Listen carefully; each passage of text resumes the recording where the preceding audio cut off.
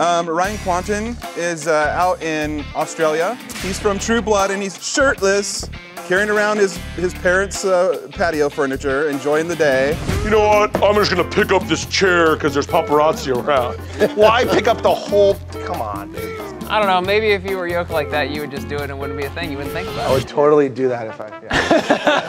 oh, yeah, I would absolutely do. it. I'd jog on the beach really slow. I'd make Chad spray me with a water bottle so I look misty. Totally. I love that Chad's there in this fantasy.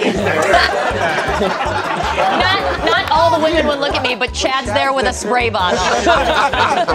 Well, I can't. I'm never gonna look like that unless he looks like that. Ah, you guys are jealous of our friendship. Hey, are you gonna wear your black t-shirt again? Yeah, me too, okay. Just because you guys don't have friends, dude. yeah.